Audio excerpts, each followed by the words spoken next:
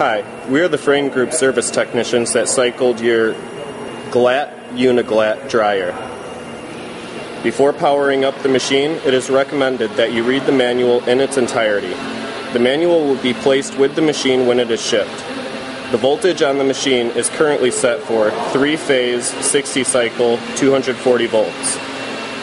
We recommend a field service technician to assist with your startup and training of the machine please contact our field service manager to meet your field service requirements.